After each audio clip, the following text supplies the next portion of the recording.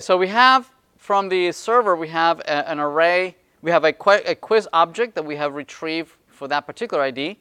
Uh, and now we want to iterate over the questions in that, in that uh, array of questions. So that's easy. We've done this uh, several times, right?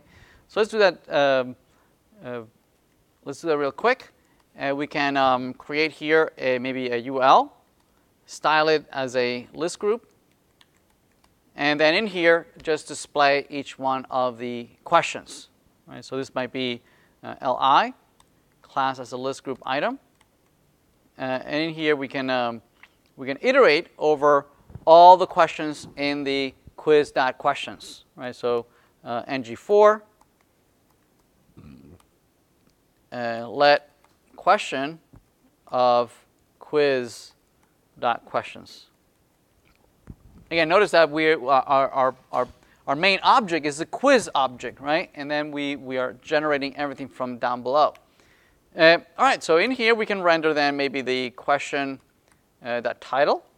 Let's see, let's see if we can do that. There it is, it's question one and question two, right? Uh, maybe we can render it as an H4, right? And uh, Right, there it is, question one and question two. Uh, maybe we can render also the, uh, the points, how many points uh, the, uh, the question is. And I think we're going to render it towards the, the right-hand side. So maybe we can put that in a span and put here uh, the points. So this would be question dot points. There it is. So there it is, 10 points, 20 points. And we can maybe push that to the right-hand side uh, by using um, float right. Oops. What happened here? Float right.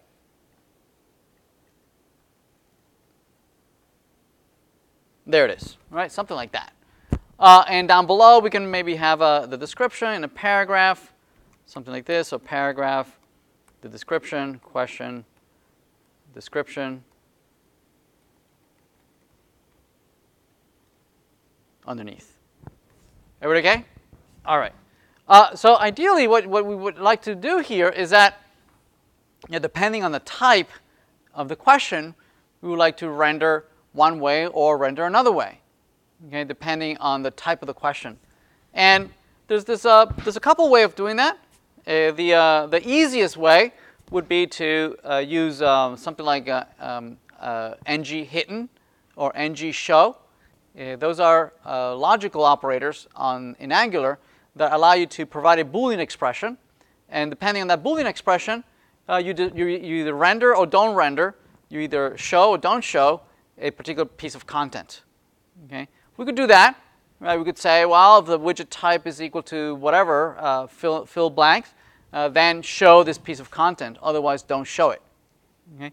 Uh, but let's, let's use a, a, a little more sophisticated uh, way of doing this.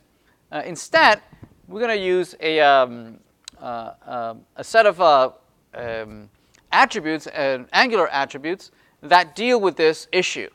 Right? Deal, deal with this issue uh, typically is um, when, um, when you have a component that actually has different versions of the same thing.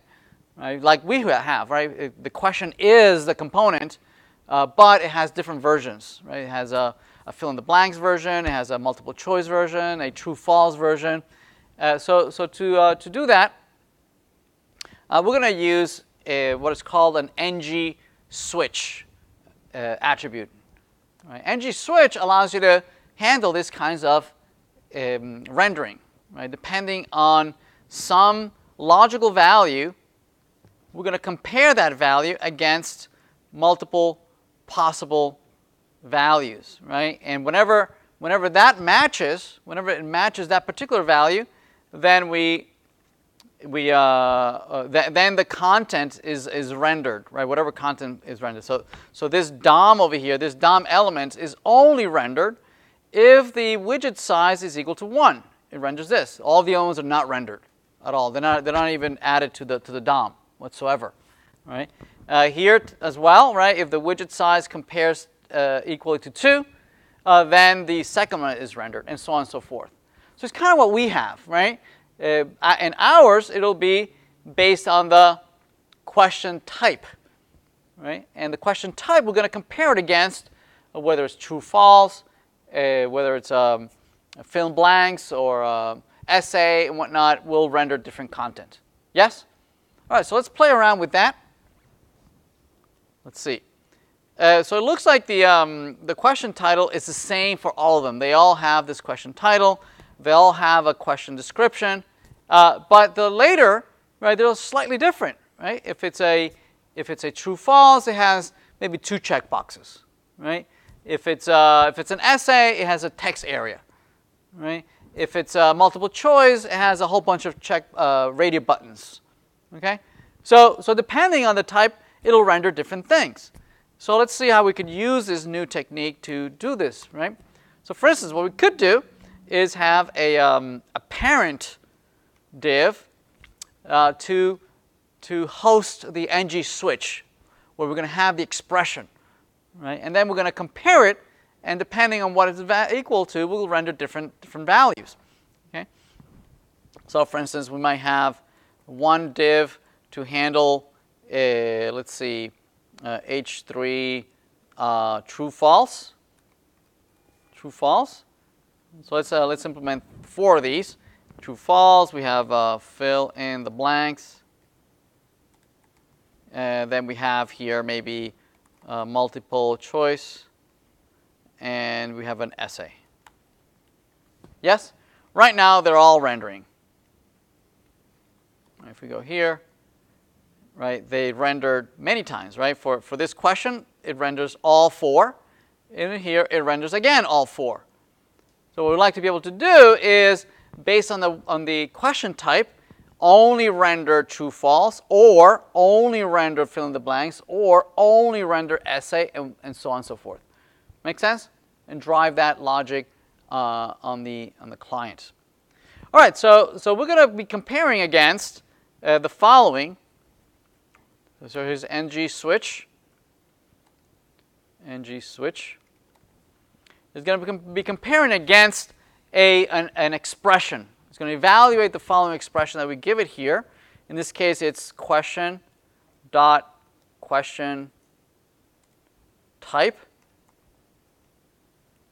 Right? And based on the question type, uh, it'll would like to be rendered one or another. Make sense? Okay.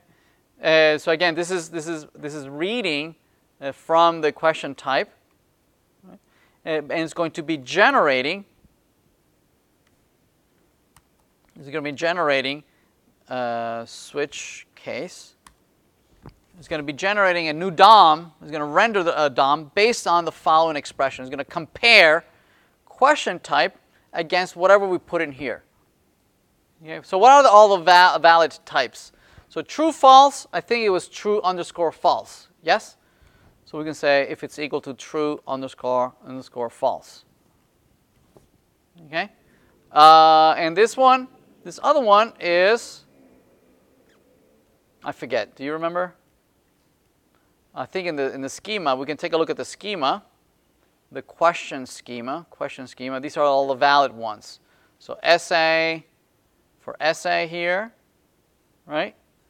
uh, fill in blanks for this one, fill in the blanks.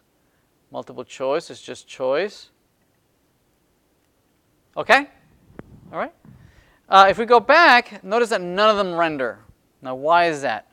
Maybe we don't have question type. Maybe something's wrong with the question type. Let's see. Let's render the question type right above it, maybe right after this paragraph.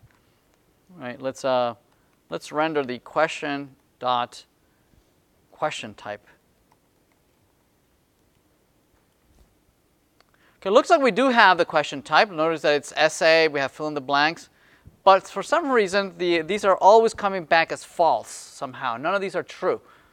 Okay? And the reason is that uh, by default, these, these um, whatever you provide as an argument here, by default, it treats them as variables. Okay, it looks and says, oh, there must be a variable called true underscore false.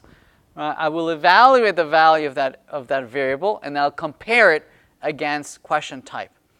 So instead here, what we like to be able to do is, is give it a literal, right? A literal string. So to do that, we're gonna we're going to put quotes around this. It says, no, this is not a variable. Okay, this is an actual little string that I want you to compare against. Okay, so let's uh, add quotations around all these. There we go. Let's go back.